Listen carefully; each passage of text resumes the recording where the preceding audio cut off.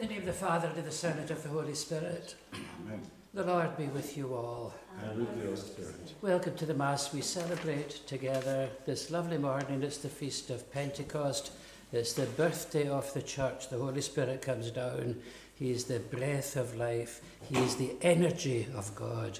And we ask Him to energize us today with His many gifts. Mass is offered for peace in the world. We think of Minneapolis. Why are there victims? Why are there people who are victimized? It shouldn't happen. We're all one in God's world. And Pentecost teaches whatever language, colour, creed, we're equally loved by God.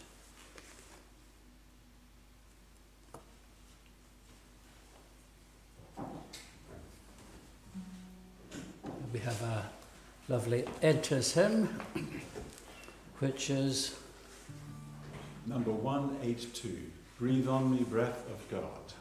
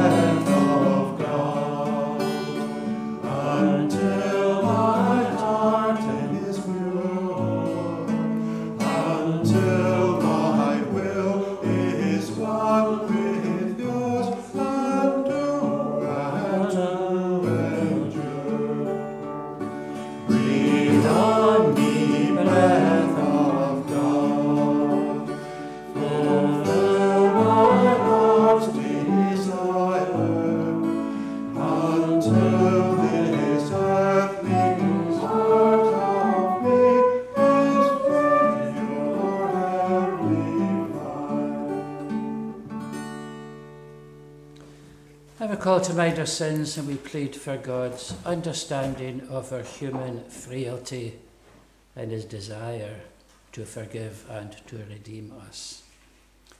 I confess to Almighty God and to you, my brothers and sisters, that I have greatly sinned in my thoughts and in my words, in what I have done and in what I failed to do. Through my fault, through my fault, through my most grievous fault. And therefore I ask, Blessed Mary, ever Virgin, all the angels and saints, and you, my brothers and sisters, to pray for me to the Lord our God. May Almighty God have mercy on us, forgive us all of our sins, and bring us to everlasting life. And now we sing the Gloria is sung at the Nativity, the wonder, the angels sing it, the wonder that God can come and live among sinful humanity. Let's join in.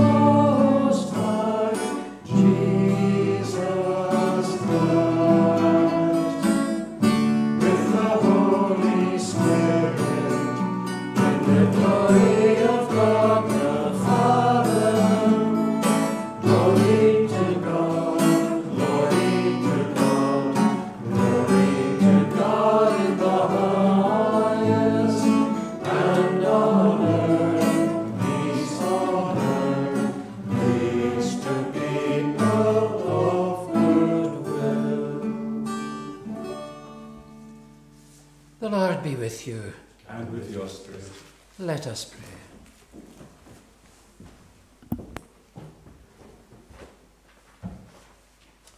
O God, by the mystery of today's great feast, sanctify your whole church in every people and in every nation. Pour out the gifts of your Holy Spirit across the face of the earth. And with the divine grace that was at work when the gospel was first proclaimed till now, even today, once more, the hearts of believers may be touched by your power, by your grace, through Christ our Lord. Amen. Please take a seat for the readings.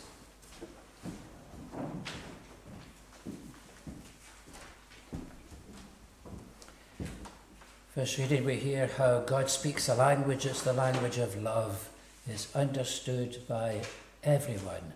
Let's listen. A reading from the Acts of the Apostles.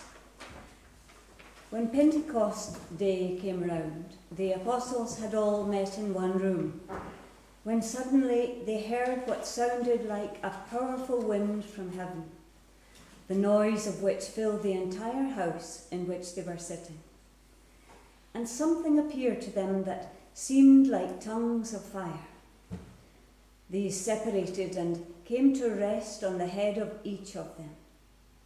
They were all filled with the Holy Spirit and began to speak foreign languages as the Spirit gave them the gift of speech.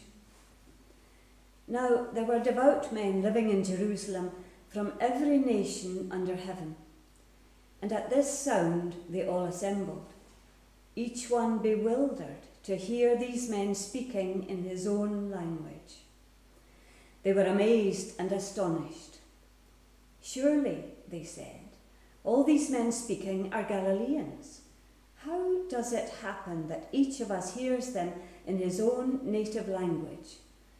Parthians, Medes, and Elamites, people from Mesopotamia, Judea and Cappadocia, Pontus and Asia, Phrygia and Pamphylia, Egypt and the parts of Libya around Cyrene, as well as visitors from Rome Jews and proselytes alike, Cretan, Cretans and Arabs.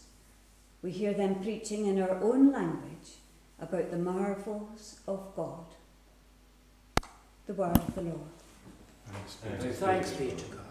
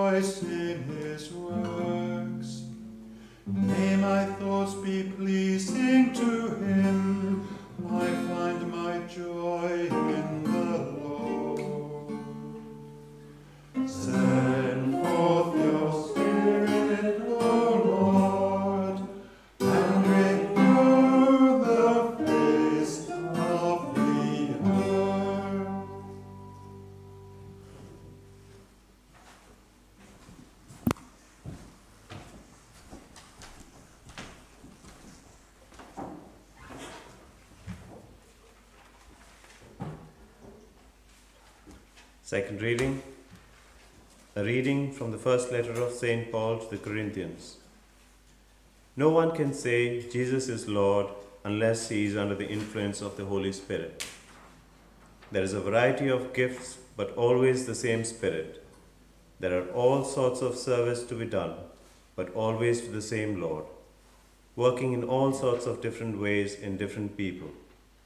It is the same God who is working in all of them. The particular way in which the Spirit is given to each person is for a good purpose. Just as a human body, though it is made up of many parts, is a single unit because all these parts, though many, make one body. So it is with Christ. In the one Spirit we are all baptized, Jews as well as Greeks, slaves as well as citizens, and one Spirit was given to us all to drink. This is the word of the Lord. Thanks be to God.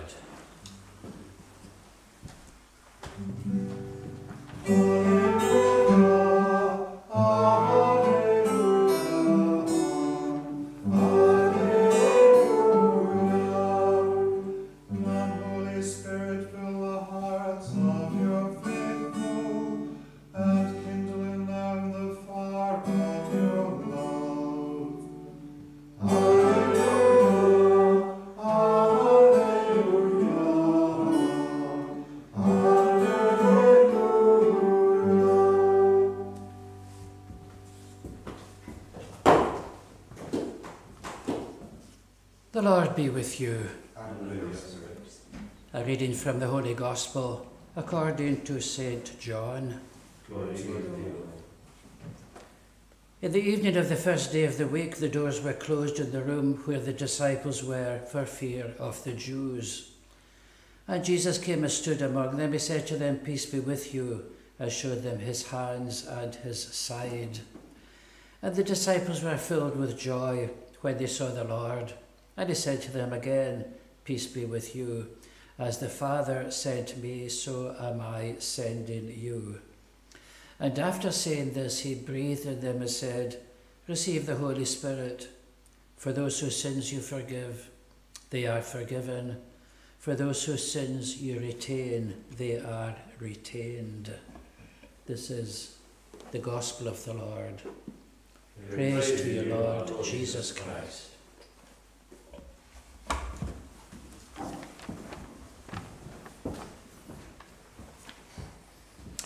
In the name of the Father, and of the Son, and of the Holy Spirit. Amen. We ask God to bless these few simple words.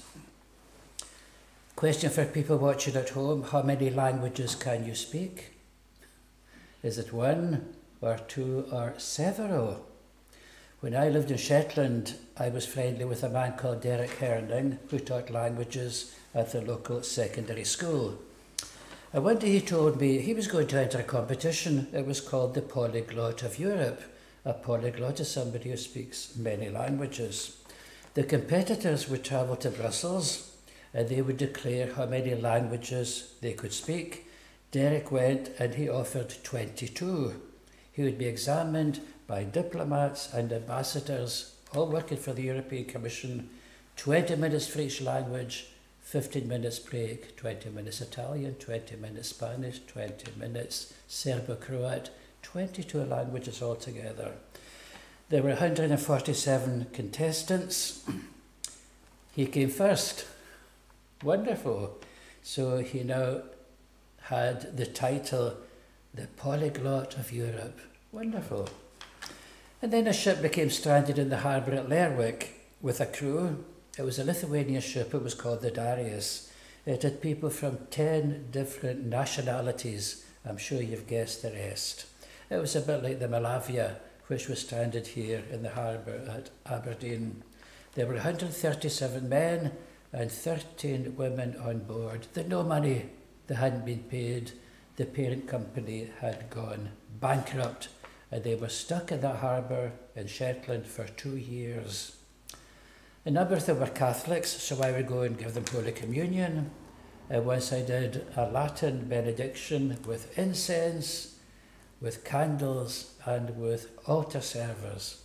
And sometimes I would go to their sort of general meetings. They'd all sit in a wide, wide circle and Derek would interpret the various requests.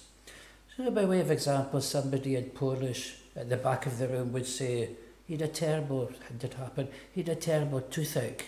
Nobody knew what he was saying. But Derek would interpret that as Serbo Croat, and Polish, and Lithuanian. It was astonishing seeing his mastery of 22 different languages but the poor man, the Polish man, he had no money. None of them had been paid. The ship was infested by rats. Dave O'Connell, sanitary inspector, went and he got 500. No food, no wages. And then the poor Polish man who would pay. So I just found myself putting my hand up. The members of the Catholic community will meet that particular bill. We kind of a poor man, a thousand miles from home, suffering toothache for two years. It wasn't fair. And then we did a Passover feast. It was during the holy season of Lent, and we invited seven. We had seven spaces at the feast for members of the crew. It was a lovely feast. We did the narrative of the plagues of Egypt. We sang the lovely Passover songs. We had bread, herbs, and we had red wine. But then, when the lamb was presented, a woman stood up and she shouted out. I didn't know what she was saying. Derek interpreted. She said, I cannot eat meat. This is the holy season of Lent. I cannot eat meat. I find that very, very touching, very impressive. And I thought that today's feast has some of that quality. In Jerusalem, people understand each other's needs perfectly what the apostle said, regardless of where people came from. Oh, they're all listed working from east to west across the Mediterranean border. They all understood, they took it to heart. I often wondered how many people were in Jerusalem for the Feast of the Harvest, and so Flavius Josephus, the historian, gives a number, which I think is great. He, he gives quarter million, but he's a historian. However, other people I noticed give another figure, and I think probably 100,000 people for the feast of the harvest would be present in Jerusalem for a few days. And St. Peter gives a brief history of salvation. It's not brief actually, he does talk. If you read the sermon for yourself, it takes about 10 minutes. The Spirit was promised, it's the breath of God, the energy of God. It's for everybody, not just for Jews, not just for Gentiles, also for Arabs and for Cretans. And the news comes with signs of the Holy Spirit. Mount Sinai, it was thunder and lightning. And now, what do they hear? Not thunder, but a wind. It's gentler. Not lightning, but something painless, something lovely, little tongues of flame. What does that mean? The old covenant on Sinai the promise of a Messiah now gives way to the final and the last covenant. The Messiah has come, Jesus, with his gifts of forgiveness. And how do they participate in that joy? that ecstasy. You're told, you know, be baptized, be saved, rejoice. You know, and 3,000 people were told by St. Luke, the doctor, became Christians. And such is the joy that they're actually accused of being drunk. And St. Peter has got to explain no, no, we haven't been drinking wine, he says. It's only nine o'clock in the morning. Rather, we are filled with a different spirit. Maybe that was the first papal joke. We are filled with a different spirit. So there is a universal language, isn't there, spoken by God, and it's a universal language of love, and it crosses every continent.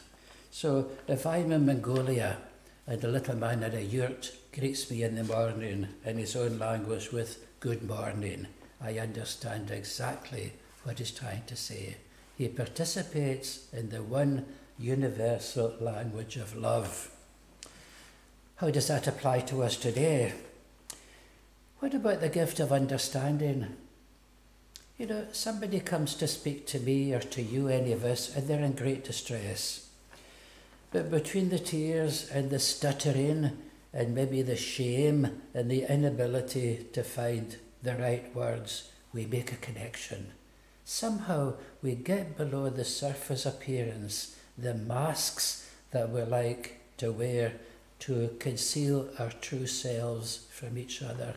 Ask God for that gift today so that my heart can speak to your heart.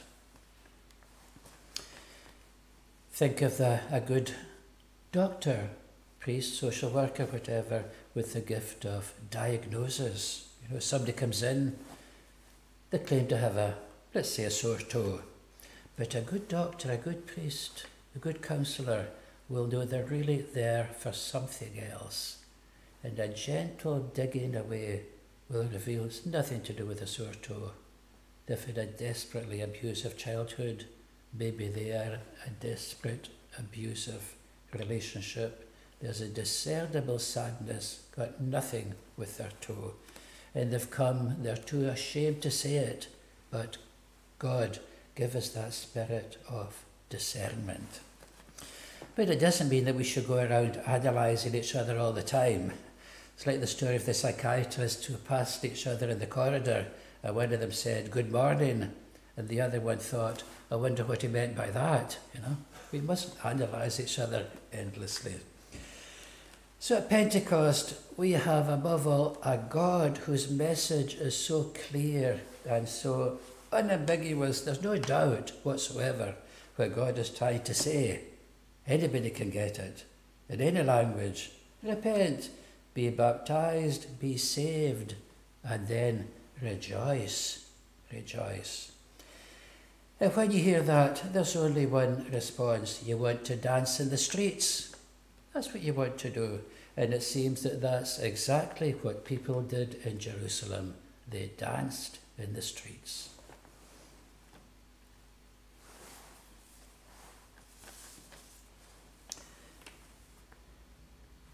In our many prayers, we're invited to pray for Pam Carroll. Poor Pam, friend, tells me She's a young woman with pancreatic cancer, a husband and a family.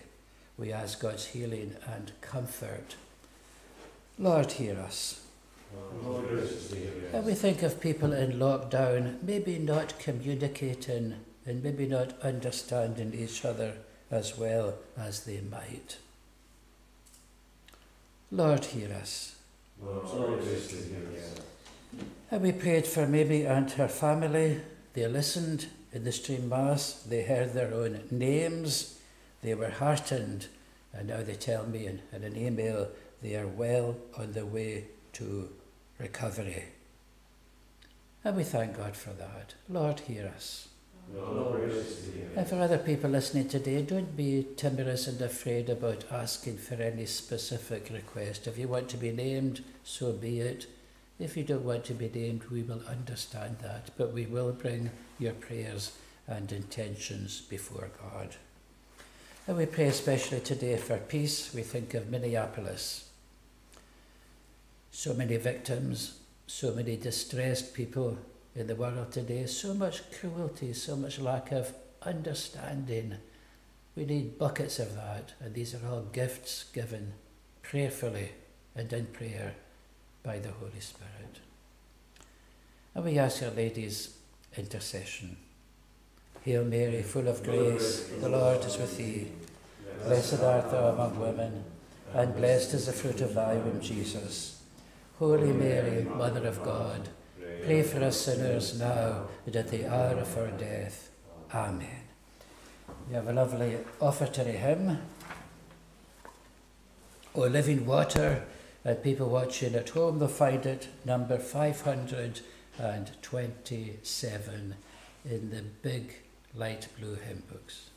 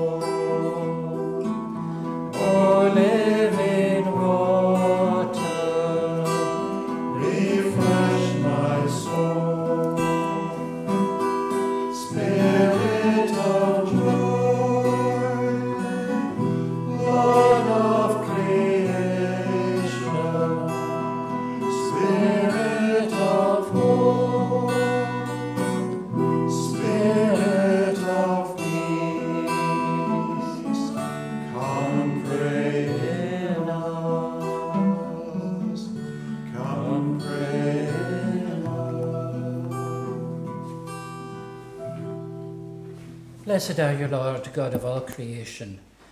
Through your goodness we have this bread to offer, which earth has given and human hands have made.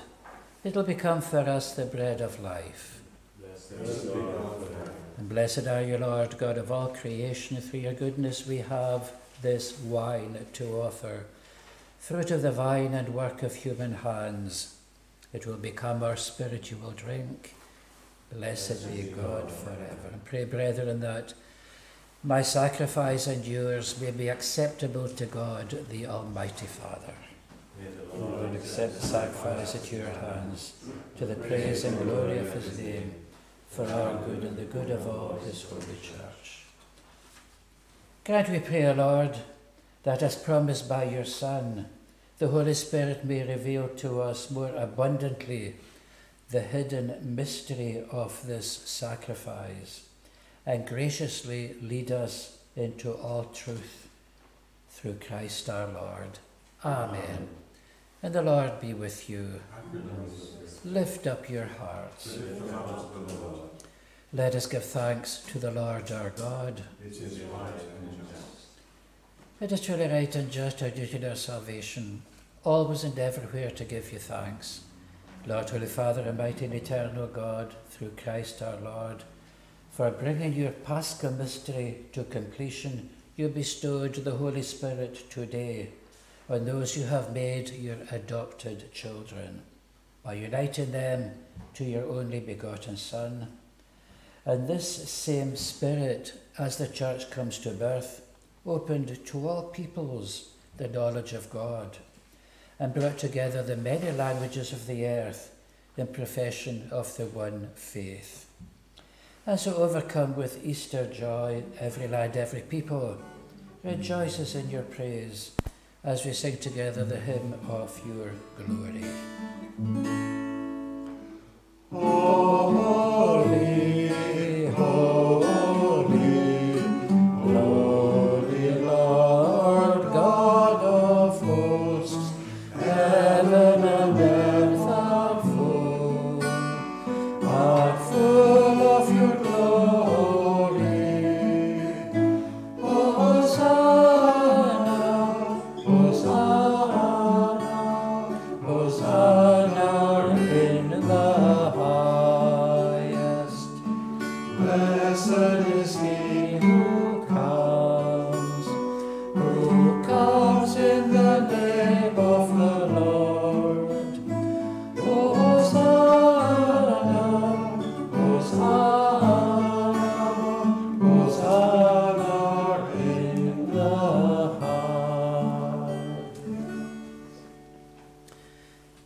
And we'll say the second Eucharistic prayer. You are indeed holy, O Lord, the fount of all holiness.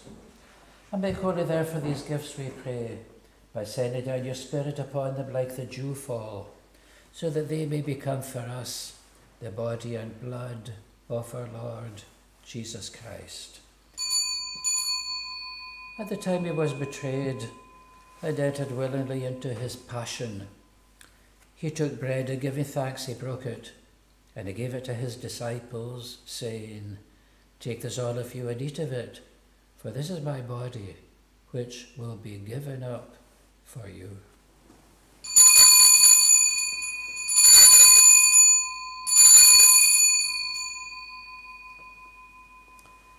And let us proclaim. Then when supper was ended, he took the chalice. And was for giving thanks, he gave it to his disciples, saying, Take this, all of you, and drink from it, for this is the chalice of my blood, the blood of the new and everlasting covenant. It'll be shed for you and for all, so that sins may be forgiven. Do this in memory of me.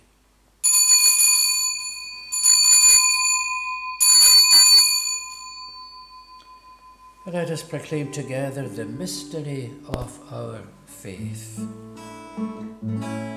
We proclaim your death, O Lord, and profess your resurrection until you come again. And therefore, as we celebrate the memorial of his death and resurrection, we offer you, Lord, the bread of life and the chalice of salvation.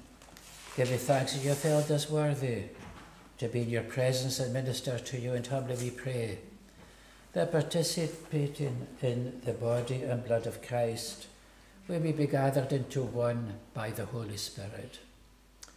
I remember, Lord, your church spread throughout the world, bring us to the fullness of charity. Together with Francis, our Pope, with you, our Bishop, and all the clergy, remember all our brothers and sisters who have fallen asleep in the hope of the resurrection, and all who have died in your mercy. Welcome them, Lord, into the light of your face. And of mercy in us all we pray that with the Blessed Virgin Mary, Mother of God, with the blessed apostles and all the saints who have pleased you throughout the ages, we may merit to be co-heirs to eternal life, and we praise and glorify you through your Son, Jesus Christ. Through him and with him and in him, O God, Almighty Father, in the unity of the Holy Spirit, all glory and honour is yours forever and ever.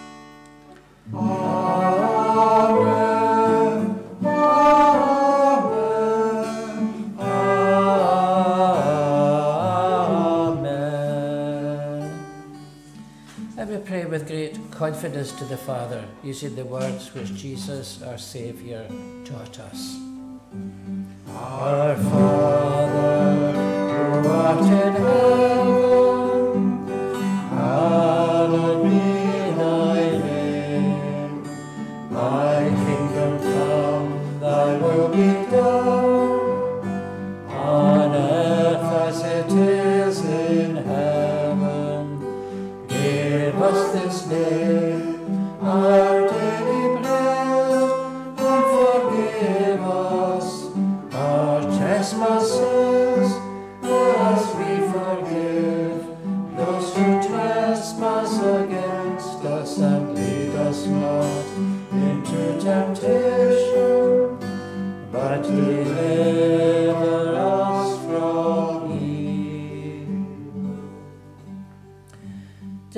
Lord, from every evil. Graciously grant peace in our day, that by the help of your mercy we may be always free from sin and safe from all anxiety, as you await the blessed hope and the coming of our Saviour, Jesus Christ.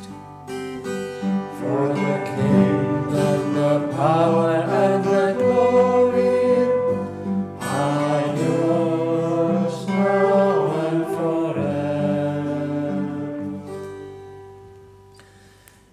Jesus Christ, you said to your apostles, I leave you peace, my peace I give you.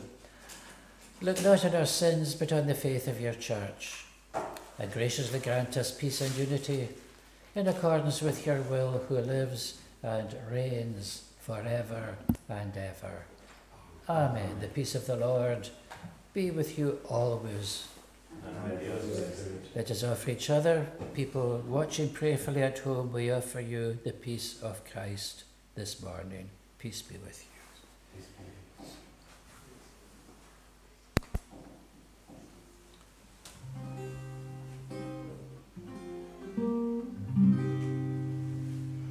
Jesus, Lamb of God, bread of life for us. Jesus, Lamb of God, wine of joy for us. Jesus, Lamb of God, Bearing all our sins, have mercy on us. Give us your peace.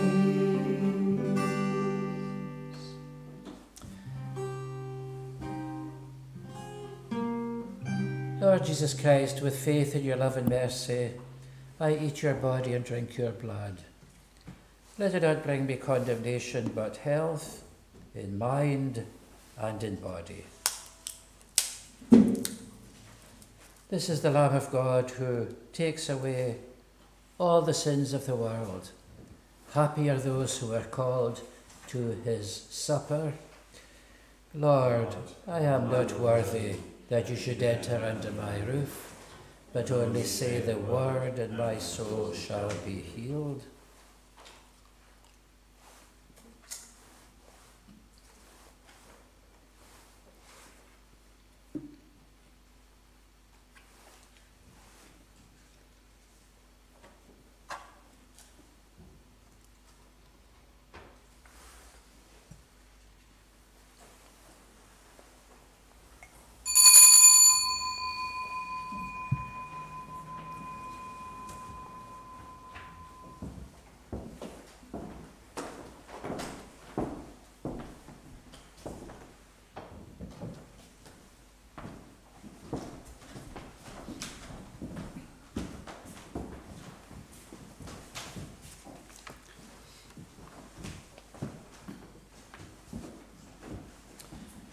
For those people today who cannot receive Jesus sacramentally, we have a lovely prayer. An act of spiritual communion. By Jesus, I believe that you are present in the most holy sacrament. I love you above all things, and I desire to receive you into my soul. I cannot at this moment receive you sacramentally, but come spiritually into my heart. I embrace you, you are there already, and I unite myself entirely to you. Never let me be separated from you.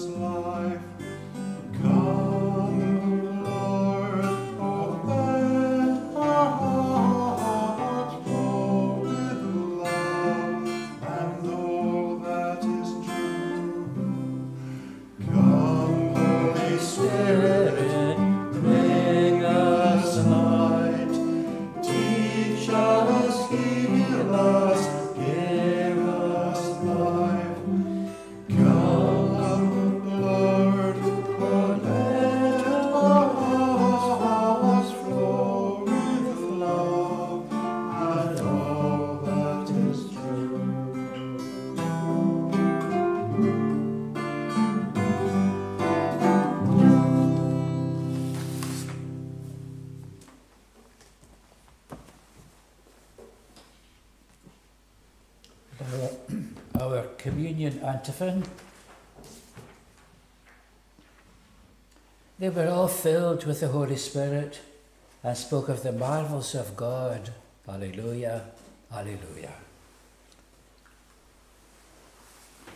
The Blessed Sacrament is returned to the monstrance, Jesus waiting patiently for anyone today who would like to converse with him. In a moment of precious silence, we thank God for his many gifts. Fill us, Lord, with understanding of other people.